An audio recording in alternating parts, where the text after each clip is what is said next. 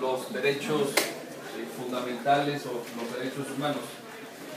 Eh, me gusta decir o explicar que los derechos humanos son aquellos derechos que protegen bienes básicos. Este es el concepto importante.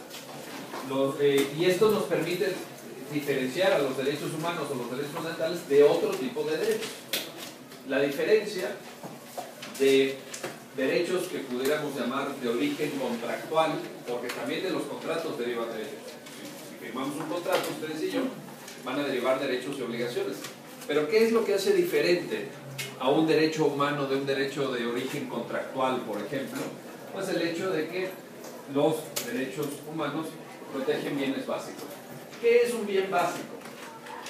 Un bien básico es aquel que nos permite realizar cualquier plan de vida.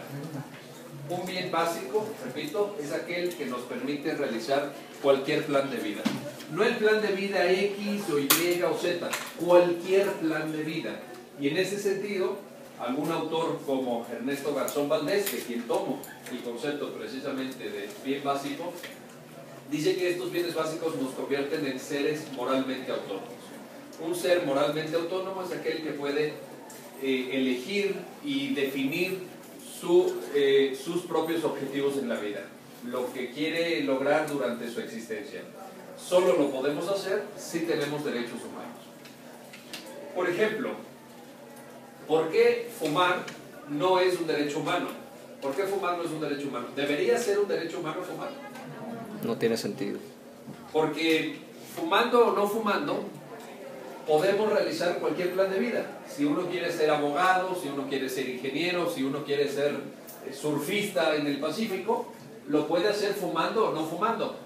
Pero, por ejemplo, la libertad de tránsito tiene que ser reconocida como un derecho humano, la libertad de ambulatoria, la libertad de desplazarnos de un lugar a otro, ¿sí o no? Sí, sí. ¿Es importante para realizar nuestro plan de vida? Sí. Porque, por ejemplo, si no hubiera libertad de tránsito, probablemente ustedes no estarían aquí. La prohibición de que nos torturen, que es un derecho humano, está prohibido la tortura por parte de agentes del Estado. ¿Es importante que sea un derecho humano o no? Sí. ¿Protege un bien básico, sí o no? Sí. Sí, ¿no? Porque imagínense que ustedes salen en la mañana de su, de su domicilio, salen para dirigirse a la clase de las 7 o de las 8. ¿A, a qué hora toman? ¿A las 7? A las 7. A las 7 a, a- a esta facultad. Y en la esquina hay una patrulla y los sube a la patrulla y los tortura una media hora. Una media hora les da unos cuantos golpes, unos toques eléctricos, ya saben dónde. ¿Cómo llegarían a la facultad? Llegarían ya medio... No llegaría, llegarían, posiblemente. llegarían. Te irás a la comisión. O llegarían medio, medio, medio alterados ya, ¿no? Como que no pondrían atención a la clase, como que no, no serían ustedes mismos. Entonces, por eso es que es muy relevante que estén protegidos los derechos humanos como eh, forma de tutela, como forma de garantía de lo que llamamos bienes básicos. Bienes básicos. Bienvenidos, compañeros. Aquí les estamos observando una señal. Eh, ¿Cuáles deberían ser los derechos humanos? Esta es una discusión que está abierta. A lo largo de la historia, a lo largo de la historia, se han ido extendiendo, se han ido haciendo más eh, prolongados los catálogos de derechos humanos. No hay una lista cerrada, eh, limitativa, taxativa de lo que debe ser el catálogo de derechos humanos. Más bien se ha ido dando conforme la historia de la humanidad ha ido avanzando y conforme eh, lo han ido permitiendo las gestas, eh, las luchas eh, ciudadanas reivindicando ciertos derechos.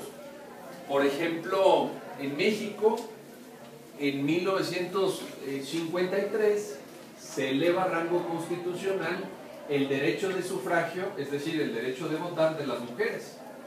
Antes de 1953, las mujeres no tenían reconocida en la Constitución, su- no tenían reconocido, perdón, su derecho de votar. Hoy en día, yo creo que nuestras compañeras y nosotros también, pues pensaríamos que el derecho de las mujeres a votar es algo eh, irrenunciable, ¿verdad? Es algo que ya, vaya, no se discute. Si saliera el próximo año un partido político y, y, y sacara como campaña de, como bandera eh, en su campaña que les vamos a quitar el sufragio a las mujeres, pues se armaría un escándalo, ¿verdad? Porque eso ya no se discute. Bueno, en 1953 no existía. En 1917, cuando se reúnen en el Teatro de la República de la ciudad de Querétaro los constituyentes para redactar nuestra Carta Magna, nadie propuso que se contemplara en el texto original de la Constitución el derecho al medio ambiente. ¿Por qué? ¿Por qué el derecho al medio ambiente no fue objeto de discusión en 1917? Porque el ambiente en ese entonces no era un problema. Éramos 15 millones, bueno, éramos. Eran, no estoy tan viejito, eran 15 millones de mexicanos en 1917. La capacidad del ser humano en ese entonces de contaminar era muy limitada. En cambio, ahora, ¿qué pasa? ¿Es un tema el medio ambiente o no es un tema? Sí, es un tema de supervivencia del género humano. Entonces, sí necesitamos que nuestras cartas constitucionales prevean como derecho humano el derecho al medio ambiente adecuado, como lo hace nuestro artículo cuarto constitucional. Eh, de tal suerte, pues, que lo que les quiero decir es que el catálogo de derechos no es algo cerrado, no es algo estático, sino que va mudando, va modificándose conforme las condiciones políticas o tecnológicas lo permiten. Por ejemplo, ahora se habla, digamos, dentro de los debates más contemporáneos, de los derechos de los adultos mayores. Derechos de los adultos mayores. Pero es muy reciente. Hace unas décadas nadie hablaba de los derechos de los adultos mayores. ¿Por qué? Porque no había adultos mayores. que no había adultos mayores. La esperanza de vida en México, según el INEGI, para las personas nacidas hace 114 años, esto es en el año 1900, era de 35 años de edad. Esa era la esperanza de vida en México. Pues no tenía caso hablar de los derechos de los adultos mayores porque pues, la gente no llegaba a ser adulto mayor, simplemente se morían mucho más temprano.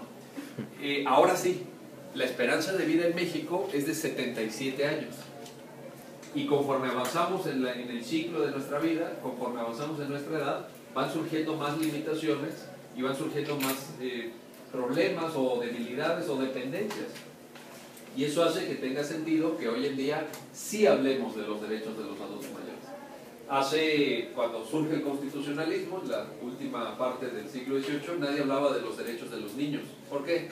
Pues porque la niñez como tal no era una etapa de la vida identificada, sino que se pasaba de una pura dependencia física de, la madre, por ejemplo, directamente al mercado laboral. Se empezó a trabajar a los cuatro años, a los cinco años.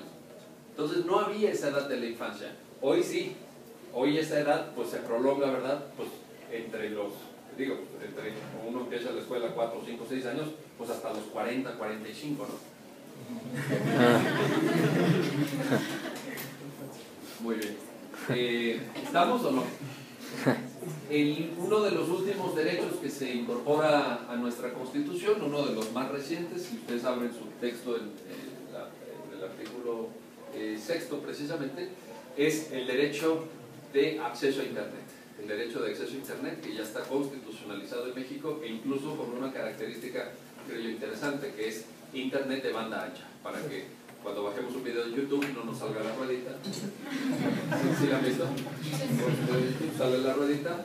¿Y eso qué significa? Pues que te puedes ir a, ver una película a otro cuarto, te puedes ir a, dar una vuelta, puedes bajar al gimnasio un ratito, porque pues eso, por ejemplo, en Japón que navegan 22 veces más rápido que nosotros por internet, y ustedes van y le preguntan a un japonés, oye, la ruedita, ¿cuál ruedita? No, pues la ruedita de YouTube, porque yo mientras me baño sale la ruedita. ya no, la conocen la ruedita, simplemente nunca la han visto. Pero nuestro magnífico servicio de acceso a Internet, pues ahí, tenemos ese problema. Ya está en la Constitución. Ya está en la Constitución. Eh, bueno, siguiente punto. ¿Cómo, está, ¿Cómo, están regulados los, los derechos en nuestra Carta Magna? Si ustedes abren su Constitución en el artículo primero, y se van precisamente al párrafo primero, verán que dice, en los Estados Unidos mexicanos, todas las personas gozarán de los derechos humanos reconocidos en esta Constitución y en los tratados internacionales. Esto nos plantea, esto nos plantea algunos dilemas. En esta pura primera frase, no estoy ni siquiera agotando todo lo que señala el párrafo primero. En esta pura primera frase, fíjese bien, eh, ¿no, ¿traen su constitución o no? Sí. Ah, Sí. bueno, si la traen, por favor, síganme en esto, porque necesito que nos vayamos aquí con un poquito de detalle. Miren, en los Estados Unidos mexicanos, todas las personas, ¿ya lo vieron o no?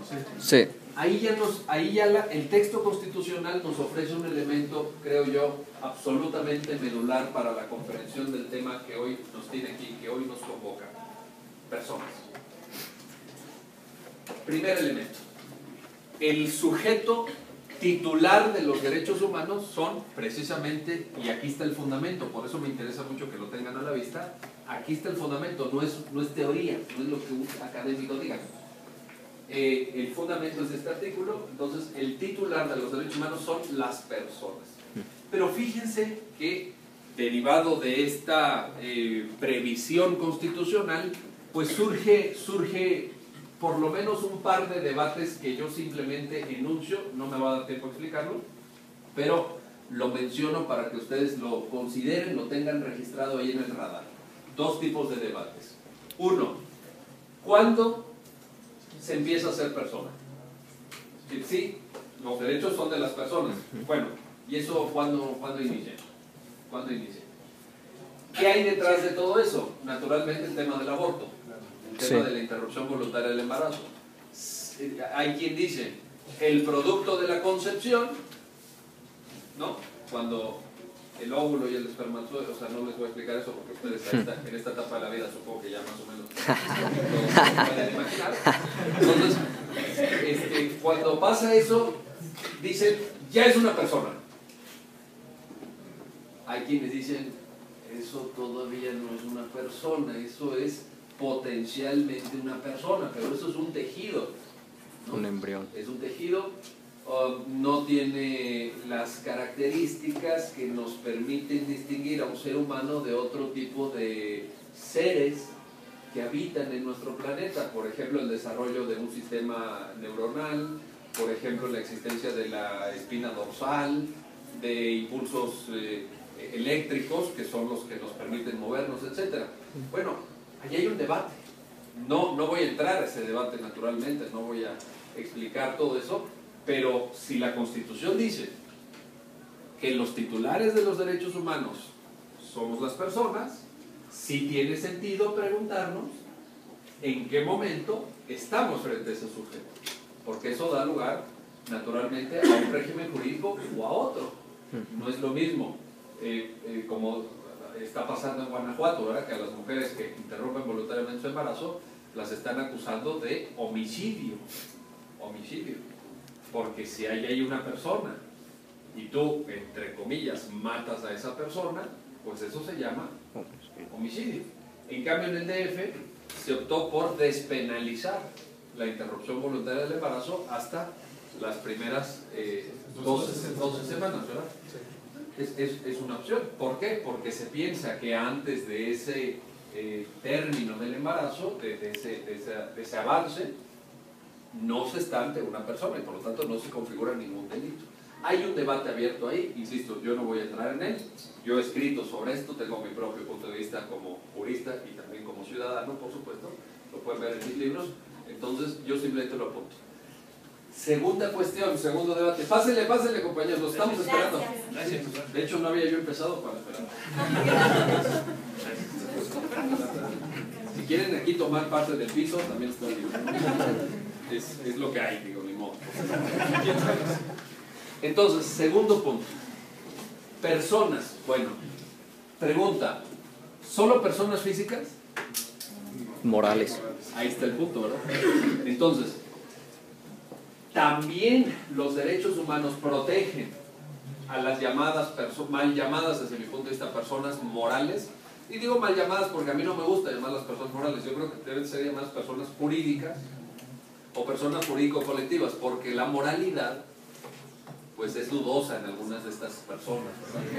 Si son morales o son inmorales, bueno, pues eso yo no lo sé, prefiero no. Pero jurídicas, ¿por qué? Porque son personas creadas por el derecho. Es el derecho el que crea a esa personalidad, a ese titular de derechos y obligaciones. Bueno, entonces, la pregunta aquí es, ¿las personas jurídicas, jurídico-colectivas, tienen o no derechos humanos? Sí. La respuesta es sí. ¿Por qué? Porque si ustedes leen la Constitución, la Constitución dice personas. Y hay un principio de interpretación que todas y todos ustedes deben saber desde ya. Y que deben, porque ya lo han escuchado muchas veces, que dice, donde la norma no distingue, el intérprete no debe distinguir. Entonces, si la norma no dice personas físicas, yo como intérprete no puedo decir, ah, no, este, aquí no están contempladas las personas jurídicas. ¿Sería una buena interpretación No. de la norma? No, porque la norma dice personas. Si yo acotara el término personas a personas físicas, no estaría interpretando bien la norma, ¿estamos? Ahora bien, de acuerdo, las personas jurídicas tienen derechos humanos, derechos fundamentales. Siguiente pregunta, ¿todos? ¿Todos los derechos fundamentales los tienen? No. Por ejemplo, hay un derecho en el artículo 18 que dice que todas aquellas personas privadas de su libertad, encarceladas por haber cometido un delito, tienen derecho a ser eh, reincorporadas o eh, la reinserción social, reinsertadas en la sociedad. ¿Ese derecho lo tienen las personas jurídicas? No pueden ser privadas de su libertad. No, exactamente, porque una persona jurídica no puede ir a la cárcel. Pueden ir sus dirigentes, ¿no? Sus directivos, quienes sean los titulares de esa persona jurídica, pero nosotros no podemos encarcelar a Walmart. ¿En qué recurso lo ponemos? ¿Dónde lo agarramos? Al director general de Walmart, si comete un delito, ¿sí? Entonces la titularidad de ese derecho del artículo 18 puede correr a cargo la titularidad de una persona jurídica o jurídico colectiva? No. La respuesta es no. ¿De qué depende que un derecho sí pueda ser titular, eh, pueda ser de titularidad de una persona jurídica y otro derecho no? De la naturaleza del propio derecho. Hay que ir caso por caso. Por ejemplo, el derecho de sufragio, el derecho de votar. ¿Puede una persona jurídica o colectiva votar? No. Ese es de ejercicio personalísimo. Ese es de ejercicio personalísimo.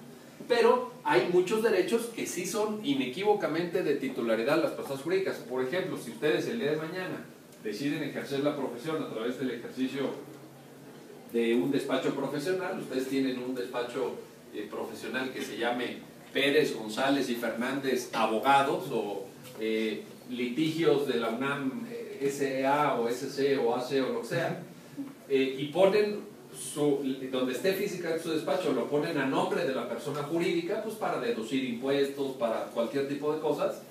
Entonces, ese despacho está protegido para que no pueda una autoridad entrar si no tiene una orden de cateo, sí o no. Sí. O puede entrar la autoridad, porque está a nombre de, de una persona jurídica, ¿puede entrar la autoridad sin orden de cateo? No. Artículo 16 de la Constitución. Aquí tenemos un dato muy importante. Siguiente punto. Dice, las personas gozarán de los derechos humanos reconocidos. Aquí está una clave. Fíjense bien la palabra, ¿ya, la- ya lo ubicaron en su texto o no? Reconocidos. Antes, antes la Constitución, antes de la reforma del 10 de junio del año 2011, no decía reconocidos, decía otorgados. Decía otorgados. Pregunta, ¿es lo mismo reconocer que otorgar? No. No es lo mismo. No es lo mismo. Porque el que otorga te está dando esos derechos. Yo le otorgo esos derechos. Entonces, la norma era la que creaba los derechos. Pero fíjense bien en el cambio de terminología que emplea el Poder Reformador de la Constitución a partir de 2011. Reconocer. Así dice, ustedes ya lo vieron en su texto, lo tienen a la vista porque está en su Constitución. Reconocer qué implica. Si yo voy a reconocer algo, significa que ese algo ya existe, ¿cierto o no? Sí. Yo simplemente, digamos, por decirlo de alguna forma, doy fe, constato la existencia de algo que ya está ahí y entonces lo pongo por escrito en una constitución. Hay quien dice, hay quien dice que con esta reforma fue el triunfo del naturalismo sobre el positivismo. Es decir, el naturalismo parte de la idea de que hay algo ahí en la naturaleza, en el cosmos. En, la religión a veces, ¿no? Porque hay, hay diferentes versiones del naturalismo. Hay un naturalismo de orden religioso que dice las normas vienen de Dios. No, no sabemos muy bien, ¿no? Quienes traduzcan eso, pero bueno, me imagino que el diputado como representante de Dios en la tierra, hay que echarle un poquito de imaginación. O hay quien dice que en realidad las normas eh, están en la esencia del ser humano, ¿no? las normas están en la esencia. Sí, lo han escuchado, seguramente. En esta facultad creo que todavía hay muchos naturalistas, ¿no? Bueno, yo cuando cursé aquí era una cosa de naturalismo absoluto, ¿no? Casi no, maestro. Entonces, ¿eh? Casi no hay mucho positivismo en este ya no hay, aquí en la facultad no, no hay, hay, mucho positivismo. Sí, así ah, ahora ya ganó el positivismo. Bueno, ¿cómo cambia, verdad? El, el punto es este. Entonces en la esencia humana. Y claro, yo siempre que escucho eso me pregunto, pues, ¿cuál es la esencia humana, verdad? Porque, claro, la Constitución dice que tenemos derecho a la vivienda, por ejemplo. ¿Cuál es la esencia humana de la vivienda? Un departamento en la colonia del Valle de tres recámaras, dos baños y medio, dos cajones de estacionamiento. ¿Esa es la esencia del ser humano? La verdad es que las normas no las escribe ni Dios, ni ninguna esencia, ni ningún ente abstracto o personal. Los escribimos los seres humanos, las normas las escriben los seres humanos a partir de una lucha de intereses, de una lucha de ideas, de una lucha de, de posturas, etcétera, que dan lugar a las constituciones, a los códigos de las leyes. Esa es la verdad. Pero bueno, aquí el punto es este. Entonces, yo ahorita simplemente eh, en mi carácter de constitucionalista no voy a entrar a este debate sobre si jus naturalismo y jus, eh, positivismo, porque entre otras cosas me parece muy aburrido y absurdo. Pero lo que sí quiero decirles es esto. Si la palabra que usa la Constitución es reconocer y en esa medida nos está enviando el mensaje, el poder reformar la Constitución, de que hay una realidad previa a, no discutamos si viene de Dios o, o sea, pero ahí está. Entonces la pregunta que sí tiene sentido hacernos como constitucionalistas es, esa realidad que es previa al reconocimiento que hace la Constitución, ¿se puso toda completa en el texto o puede haber parte de la realidad que no haya sido escrito como derecho en el texto. ¿Y por qué creo que esto sí tiene sentido y sí nos puede ayudar a comprender mejor el tema del que hoy les estoy hablando? Porque en muchos tribunales constitucionales del mundo se habla de los derechos implícitos. Derechos implícitos. Es decir, derechos que no están escritos expresamente, pero que pudieran derivarse, que pudieran desprenderse de algún otro derecho escrito o de la interpretación de algún derecho que sí esté efectivamente previsto en nuestra eh, Constitución. Por ejemplo, la Corte, la Suprema Corte de los Estados Unidos, en un caso muy famoso en los años 60, el caso Griswold versus Connecticut, desprendió un derecho a la vida privada de la cláusula de la enmienda 14 de la Constitución norteamericana que habla del debido proceso legal. Dice la Corte de Estados Unidos, el debido proceso legal nos permite desprender, claro, les estoy resumiendo mucho, tendría yo que darles todo el argumento, pero nada más ahorita para efectos de la clase. El debido proceso legal permite desprender un derecho a la privacidad. Era un caso, Griswold versus Connecticut, es un caso de una ley del Estado de Connecticut precisamente que prohibía prohibía eh, tanto la comercialización, esto es la compra o la venta, como el uso de productos anticonceptivos. Aunque ustedes no lo crean, estaba prohibida la compra y la venta y el uso de productos anticonceptivos es una ley del Estado Connecticut de finales del siglo XVIII, de 1780 y tantos. Y entonces la Suprema Corte, cuando llegó eh, el asunto a conocimiento de los justices de la Corte de Estados Unidos, dijo, a ver, la compra y la venta, bueno, este, podemos discutirlo, pero el uso de métodos anticonceptivos, ¿cómo le va a hacer el Estado para verificar si la ley se está cumpliendo o violando? Tendría que ir y decir, a ver, ¿qué se puso usted ahí? y entonces dice, dice, hay, hay un párrafo muy famoso de la sentencia donde dice, ¿acaso vamos a permitir que las autoridades atraviesen el sagrado umbral de las recámaras matrimoniales? Claro, en ese entonces se pensaba que todo el sexo era matrimonial. Con ustedes no voy a tratar por obvias razones. Dice, ¿acaso vamos a permitir, que, así dice la sentencia, ¿acaso vamos a permitir que las autoridades traspasen el sagrado umbral de las recámaras matrimoniales? Y la respuesta es no. ¿Por qué no? Porque hay un derecho a la vida privada, hay un derecho a la privacidad. Eso la autoridad no tiene por qué hacerlo, no tiene por qué meterse. La autoridad no puede entrar en nuestras recámaras con la excusa de que va a verificar que la ley de Connecticut se cumpla. Hay un derecho a la privacidad. Bueno, pero está escrito en la Constitución de Estados Unidos ese derecho a la privacidad. Si ustedes leen el texto de la Constitución, no lo verán ahí. ¿Qué es? Es un derecho implícito. ¿Por qué implícito? Porque de la cláusula del debido proceso legal, en la enmienda 14 de Estados Unidos se dice, se, las autoridades deben observar el debido proceso legal, due process of law, se desprende el derecho a la privacidad. Entonces lo que sí tiene sentido es que nos preguntemos si a través de, este, eh, de esta palabra que dice eh, reconocer, nosotros pudiéramos llegar a interpretar que hay derechos implícitos. La Suprema Corte de México ya lo ha hecho, ya lo ha hecho. La Suprema Corte de México ha reconocido derechos implícitos. Por ejemplo, el derecho al libre desarrollo de la personalidad, que no está escrito en la Constitución, sí reconocido en jurisprudencia internacional, pero la Suprema Corte en un caso muy interesante porque una persona que había nacido eh, eh, como varón en un momento dado de su vida, por las razones que solamente esa persona sabe y por, le dio su regalada gana, decidió cambiar su identidad genérica a mujer. Entonces, se, la representación física, psicológica, etcétera, de esa persona era de sexo femenino, pero en su acta de nacimiento y todo lo que ahí deriva, pues se llamaba Juan. Juan. Y entonces, ¿qué pasa en una sociedad profundamente machista, profundamente discriminatoria como es la nuestra? Pues que iba a pedir trabajo, ¿no? naturalmente vestido de, vestida de mujer, con su caracterización genérica de, sexo femenino, etcétera, y entonces le decían, pues su credencial del IFE, Juan. Juan. Este, y entonces era objeto de discriminación.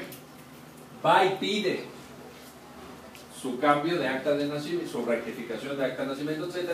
Y naturalmente el director de registro civil dice, usted nació Juan. Si yo luego no le gustó, y eso es problema suyo. Usted y sus padres dijeron que usted se llamaba Juan y así se queda. Promueve un amparo y la corte dice, no, porque tenemos derecho al libre desarrollo de nuestra personalidad. Y eso incluye la posibilidad de cambiar de sexo y el Estado deberá respetar esa opción derivada del derecho al libre desarrollo personal. Bueno, ¿ese derecho lo encuentran en la Constitución?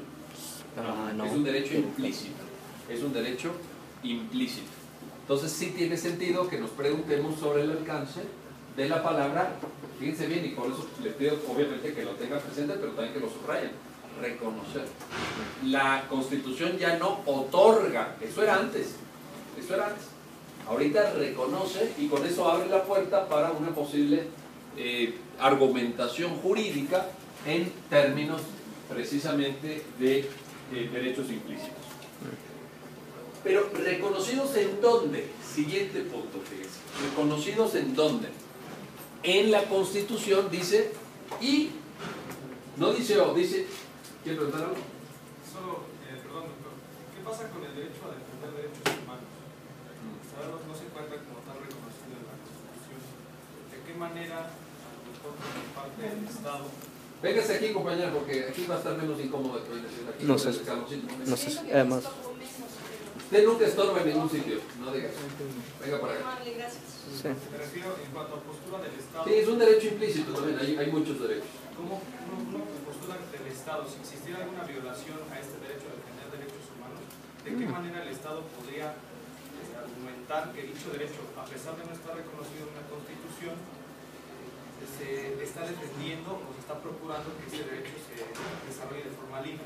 Todo- todos los derechos están sujetos a argumentación, en ese caso se tiene que saber una argumentación para eso precisamente. En el amparo. Sé, análisis en cuanto a este, lo que tiene que ver con el derecho a defender derechos humanos. Como toda argumentación, exactamente. Toda argumentación requiere de un análisis, requiere de poner razones ahí, razones de calidad, etc. Eso es argumentar.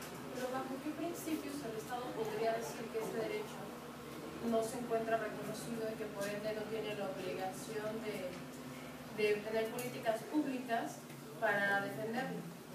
Está en el artículo primero, párrafo tercero, ahora de ahí se podrá derivar precisamente las obligaciones del Estado.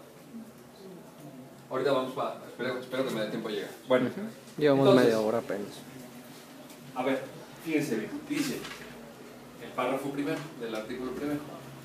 Tenemos las personas, los derechos que están reconocidos en la Constitución y los tratados internacionales.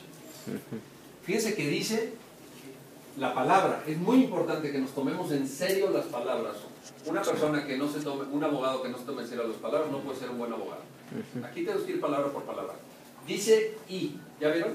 Sí, No dice ojo, conjuntamente. sino conjuntamente. Quiere decir que tenemos que sumar, que tenemos que añadir todo lo que está aquí, aquí en esta constitución, pero también todo lo que está en los tratados.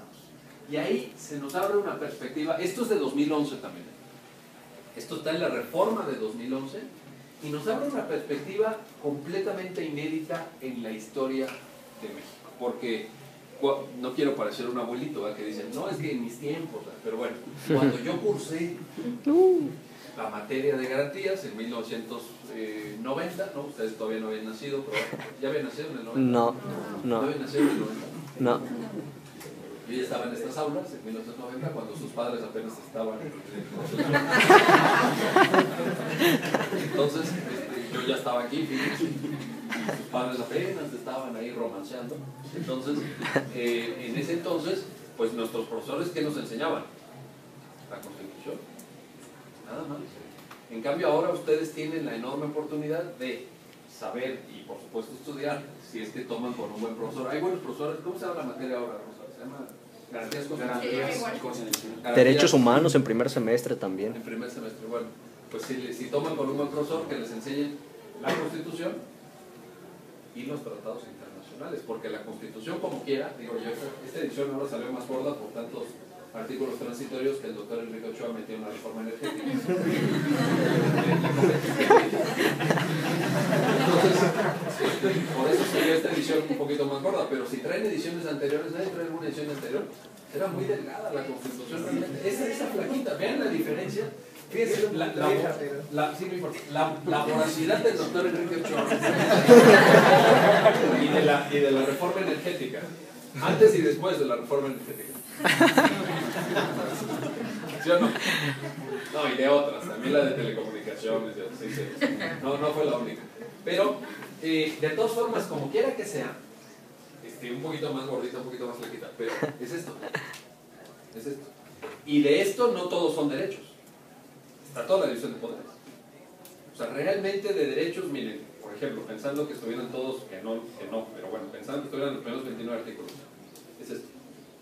¿Ya lo vieron? Sí, Esto nada más. Cuando en el 2011 la Constitución, el párrafo primero del artículo primero dice y, y, no dice o, y, en los tratados internacionales, entonces se nos abre verdaderamente una caja de Pandora. ¿Por qué? Porque México ha sido un país muy activo desde el punto de vista diplomático en cuanto a la suscripción de tratados internacionales. Según la página web de la Suprema Corte, México ha firmado 173 tratados internacionales que contienen derechos humanos, que contienen al menos un derecho humano. 173. Entonces, ¿qué, qué nos está diciendo el párrafo primero del artículo primero? Cuando añade y esos 170. en los tratados. Quiere decir que entonces, si nosotros nos preguntamos qué derechos tenemos, ok, entonces la respuesta es por lo que hace a la fuente de los derechos. Tenemos los derechos que están aquí, más los 173 instrumentos internacionales que prevén derechos fundamentales. ¿Hasta ahí vamos bien o no? Sí, Claro, esto supone el reto, pues, en primer término, y, y- y no digo que sea fácil, ¿eh? pero se los digo para que le vayan entrando de una vez, independientemente que los expliquen sus maestros, es por el reto de conocer los tratados. Maestro. Conocer los tratados. Pero el 133 no también dice que los tratados internacionales son la ley suprema de la Unión y esto es antes del 2011. Es correcto. Entonces ya había una aplicación de los derechos humanos antes del 2011 o no? ¿Qué dice exactamente el 133? La Constitución, los ¿Hay una jerarquía allí o no? No, ya, ya no existe la jerarquía. No, no, en el 133. En el 133. Sí. Porque yo estoy seguro que la, la duda del compañero probablemente surge de la, de la explicación que, según me han dicho, siguen haciendo muchos profesores de esta facultad, en el sentido de explicar todavía la jerarquía. Voy a entrar a eso en un minuto, de hecho es el siguiente punto. Pero la pirámide famosa, etcétera, que ya por supuesto se deja atrás, y ahorita voy a explicarte qué términos, pero eh, decía el ciento, dice todavía el 133, compañero, que forman parte de la Ley Suprema de la Unión tres cosas. Son tres las cosas que forman parte de esa Ley Suprema ¿sí o Vamos por partes. La Constitución. ¿Sí o no? Las leyes del Congreso, También. ¿cómo dicen? Que emanen de ella. ¿Sí o no dicen? Por, por favor, síganme en su texto para que ustedes puedan constatar, puedan verificar que no me esté yo equivocando. Y los tratados internacionales firmados, ¿verdad? pero que estén de acuerdo con la misma. ¿Sí o no? Luego entonces, ¿qué está diciéndonos el 133? Que la validez dimana de la Constitución, ¿sí o no? Porque por un lado las leyes tienen que emanar de, emanar de, o sea, tienen que surgir de, y los tratados tienen que estar de acuerdo con, de acuerdo con. ¿Sí estamos o no? Sí. El- la reforma 2011 creo que cambia esto. Creo que cambia esto. Porque eh, en términos del artículo primero, párrafo primero, si ustedes lo leen a la letra, no pudiéramos, creo yo, en una buena interpretación, así es como, así es como eh, yo lo entiendo, no creo que pudiéramos derivar del texto del artículo primero, párrafo primero, una jerarquía, una jerarquía entre constitución y tratados para efectos de derechos humanos, para efectos de derechos humanos, sino que simplemente dice la- qué derechos tenemos, los que están en la Constitución y los que están en los tratados internacionales, pero no se distingue ahí ninguna jerarquía, creo yo, a la letra, no pudiéramos pensar en esa, en esa eh, jerarquía. Por tanto, esto me da pie a afirmar algo que me gusta mucho repetir, lo repito mucho, lo he puesto por escrito, que es los tratados internacionales en México, después de 2011, los tratados internacionales de derechos humanos son constitución. Son constitución. Se terminó la discusión que nosotros sí tuvimos en nuestras generaciones eterna, inacabable sobre están por arriba, están por, están por abajo, eh, están no sé dónde. Se terminó. Los tratados internacionales firmados y ratificados en México, por supuesto, que eh, contengan, que prevean derechos humanos, son constitución. Son constitución. Y esto nos da pie a la pregunta del compañero. ¿Cuál es su nombre, compañero? Mauricio. Nos da pie a la pregunta de Mauricio. Dice, bueno, y entonces el 133 la jerarquía, porque ustedes habrán escuchado, corríjanme si me equivoco, pues yo ya, como les dije, yo ya no vengo mucho por aquí, pero, por ejemplo, ustedes habrán escuchado lo de la pirámide kelseniana, ¿cierto? Sí. Bueno, entonces, la pirámide kelseniana se puede representar, obviamente, de manera gráfica, pues así, ¿no? ¿Qué hay en la cúspide de la pirámide kelseniana? La constitución. La constitución, digamos, la norma suprema, constitución política, Estados Unidos mexicanos, ¿cierto o no? Sí. Aquí está. Luego, en términos del propio 133, por abajo de la constitución, pues bueno, ahí ya saben, ¿no? Que hay diversas posturas, incluso jurisprudenciales, porque la Corte ha oscilado de una interpretación a otra, ha ido de un lado a otro. Ah, dicen, bueno, luego los tratados internacionales, luego las leyes, pero dice el 133, las leyes que eh, emanen, las leyes del Congreso, las leyes del Congreso que emanen de la Constitución, pero bueno, la Suprema Corte, en un ejercicio un tanto libre, por no llamarlo de otra manera, o, novelístico, o imaginativo, ha dicho que hay en el un famoso amparo de 2005, el amparo de la empresa McCain, dijo, bueno, pero es que hay que distinguir entre leyes generales y leyes federales. Y las generales están por arriba de las federales.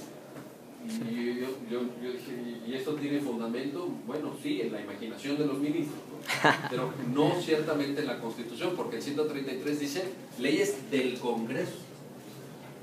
Del Congreso. No añade ninguna diferencia que si es ley general o si es ley federal. ¿Eso ya lo vieron? ¿Leyes y federal? ¿No lo han visto? Sí. Ya se los entregué Sí, Ochoa, porque además él hizo su, su tesis de, eh, de licenciatura o de posgrado sobre el federalismo, ¿no? La del doctorado sobre el federalismo. Y él es experto en esto, el federalismo, y ya se los va a explicar. Pero lo que, así estaba antes, ¿no? Y así se los explicaron más o menos o no. Sí. Independientemente de que cuál es el segundo escalón o el tercer escalón, pero el primer escalón indubitablemente es la Constitución, ¿sí o no? sí. Pues después del 2011 pueden agarrar este esquema y tirarlo directamente a la basura. Yo, yo sé, digo, más allá de la risita nerviosa, ¿no? pude detectar como en 10 o 15 de ustedes que son los únicos que están despiertos, los demás están así como cabeceando porque vienen cansados, pero eh, más allá de la risa nerviosa, lo cierto es, de- es que este esquema ya no explica lo que el derecho mexicano. ¿Por qué? Porque después de la reforma de 2011 y de una sentencia de la Suprema Corte que todas y todos ustedes tienen que conocer, se las recomiendo vivamente para su formación como futuros juristas, no pueden dejar de leer esta sentencia, que es la contradicción de tesis 293. 293 del 2011, contradicción de tesis 293 del 2011, la subí a texto completo a mi página web por si quieren este, consultarla con sus respectivos votos concurrentes y votos de minoría también, Está pesada. para que vean todo el, el discurso. No, no es tan larga, ¿eh? para lo que acostumbra la Corte, no, no es tan larga. Además, creo que está muy bien escrita, es una ponencia del señor ministro Arturo Saldívar. Vean esto, entonces, a raíz de, cito las dos fuentes, la reforma constitucional de 10 de junio de 2011 y de la 293, la pirámide cambia para pasar a ser el derecho mexicano, digamos, si lo quisiéramos poner gráficamente, hoy en día sería esto.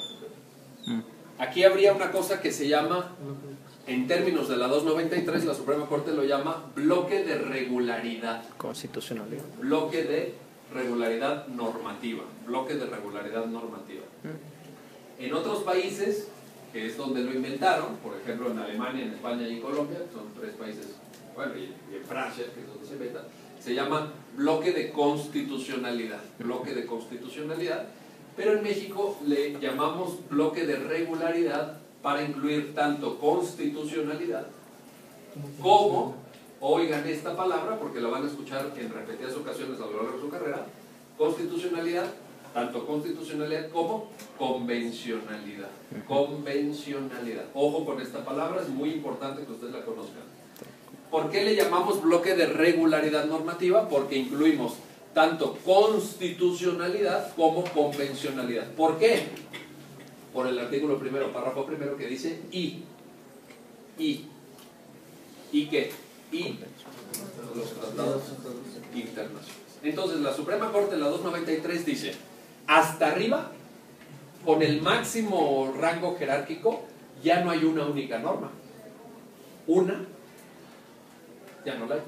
Sino que hay cuatro tipos de normas. Son cuatro los elementos que integran el bloque.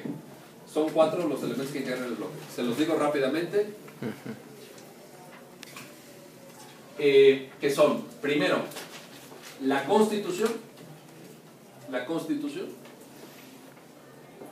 Segundo, la jurisprudencia de los tribunales federales que interpreta la constitución. Está al mismo rango. No, no, no cabe distinguir entre norma e interpretación. Entonces ahí tenemos un segundo elemento, la jurisprudencia que interpreta la constitución, no la que interpreta el código de comercio, por supuesto. Solamente la jurisprudencia que hace interpretación constitucional.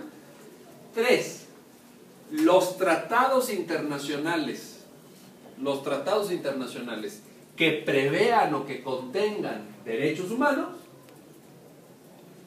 ahí hay un tercer elemento, Y cuatro, esta es una gran aportación de la 293, es algo muy novedoso que, que- que- se deriva de este criterio, la jurisprudencia de la Corte Interamericana de Derechos Humanos. Porque la Corte Mexicana en la 293 dijo la jurisprudencia de la Corte Interamericana de Derechos Humanos es 100% obligatoria para México, Aunque no sea parte. aunque no sea parte. Esa es la gran aportación de la 293, a diferencia de algún criterio previo. Entonces, todos los criterios que emita la Corte Interamericana de Derechos Humanos forman parte de el bloque de regularidad normativa, toda vez que la Corte Interamericana es el intérprete privilegiado, el intérprete más relevante de los tratados internacionales de derechos humanos que México ha firmado y ratificado. Esos son los cuatro elementos. ¿Les cambia o no les cambia el esquema? Sí, sí. Esa es la interpretación moderna para que vean. Entonces, ¿a qué hora terminas tú? Ah, no, perfecto. Muy bien. Dígame. Una pregunta. ¿El bloque de constitucionalidad podría incluir tal vez un- derechos humanos que estuvieran reconocidos en otro sistema, quizá el europeo o el africano, pero que la Corte Interamericana todavía no se hubiera pronunciado de manera por lo menos de referencia? No. El criterio de validez geográfica sí es un punto inamovible, digamos. eh. La, en el diseño de, de- de qué normas integran o no el bloque. Si nosotros decimos, bueno, pues, eh, pero es que en Europa reconocieron un derecho, por ejemplo, en la Carta de Derechos Fundamentales de la Unión Europea de Niza del 2000, eh, dice que hay un derecho a la buena administración. Suena bien, ¿no? Y en México pues, sería fantástico. Es más, yo creo que es urgente. Pero lo podemos invocar en una demanda de amparo diciendo que traigan aquí la aplicación de la Carta Europea. Por el momento no. Podemos hacerlo como un añadido a nuestro argumento, pero no me parece un fundamento jurídico eh, sólido. En ese sentido, el criterio geográfico, repito, pues, sí nos limita ahí un poco. ¿no? Yo igual tengo otra pregunta, doctor. Por ejemplo, este, ahorita con base en el principio pro, pro persona de la reforma constitucional, Ahí vamos, espérame, espérame, espérame. nada Es que es el segundo párrafo del artículo previo. Es que si no, los muchachos, acuérdense que. ¿En qué semestre están jóvenes? Noveno. En noveno. Noveno. ¿Es la, es la clase de Enrique Ochoa esta? no? Enrique Ochoa da en qué semestre? Tercero. bueno. Me vine si hay gente que de otros semestres, ¿verdad? O de Me otras vine, carreras. me vine a intercambio, maestro. O de, o de otras de universidades. Si vino gente aquí de economía, bueno, pues ya. Ah, bienvenidos, ¿eh? yo lo puse en internet, es clase abierta. por favor. Sí, Bueno, sí. Pero el punto es este. Bueno, vámonos. Entonces, así queda. Así queda. Y el reto, porque sí es un reto y es un desafío enorme, no, no quiero minimizarlo y les pido que se lo tomen con toda seriedad. El reto ahora es conocer todo lo que está aquí adentro. Claro que yo sé que estoy cierto porque cada semestre pasa que con Enrique Ochoa se inscriben casi siempre los mejores estudiantes. El número uno de, de la generación se inscriben con Enrique Ochoa porque saben que es el mejor dando derecho constitucional. Bueno, sin desdoro de otros de mis colegas, ¿no? No sé me quién. Como Enrique es mi amigo y todo, pues yo digo que es el mejor. Bueno, pero entonces, el punto es este. Probablemente muchos de ustedes que son buenos estudiantes, que quieren ser buenos abogados, que le están echando muchas ganas a la carrera, ahorita que me están escuchando, yo sé, porque yo estuve en esas bancas hace unos cuantos años también, y yo era igual que ustedes. Algunos de ustedes estar pensando, "Ah, está exagerando el doctor, porque dice, a ver, la constitución pues, es este librito. Pero 173 tratados internacionales, no, hoy en la tarde los bajo al iPad, ¿no? Voy, o los imprimo, los engargolo, los subrayo, ¿qué tal me puedo tardar cuánto en leerlos? ¿Dos semanas? Bueno, listo, ya está. La verdad es que no. La verdad es que no es tan fácil.